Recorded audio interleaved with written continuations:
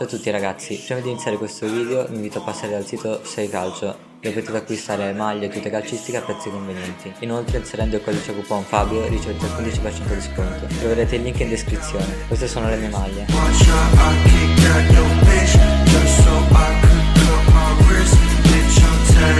Non perdete altro tempo e passate dal sito.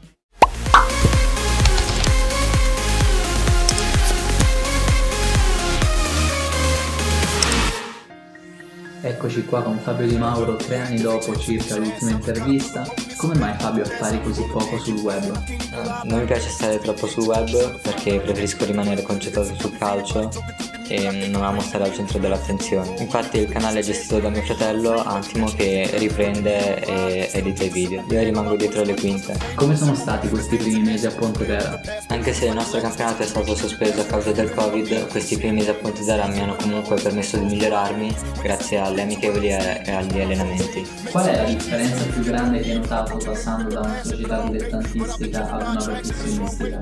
Le maggiori differenze che ho notato passando da una scuola dilettantistica ad una professionistica sono la competitività tra i compagni e le strutture. Ti ispiri a qualche giocatore quando giochi, Fabio? Ma quando gioco non penso a nessuno, penso solo a quello che sto facendo in campo e provo a fare la cosa migliore. I giocatori che ammiro per il loro stile di gioco sono Messi, Dybala e Gomez. Però quando gioco non ricerco il loro stile. È vero che a 16 anni, in seguito all'ultima stagione all'Etrusca, avevi pensato di smettere di giocare a calcio?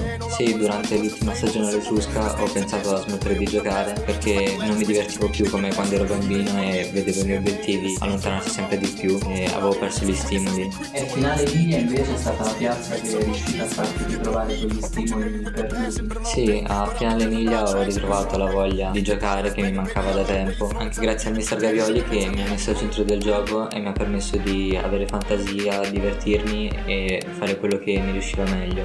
E dopo l'anno al finale Emilia, il tuo percorso all'Alfonsine com'è stato? Nonostante l'anno difficile, dalla canzone mi porto un'esperienza positiva in un campionato importante come quello nazionale, nel quale comunque penso di essere migliorato e facendo un ruolo che non ho mai fatto prima.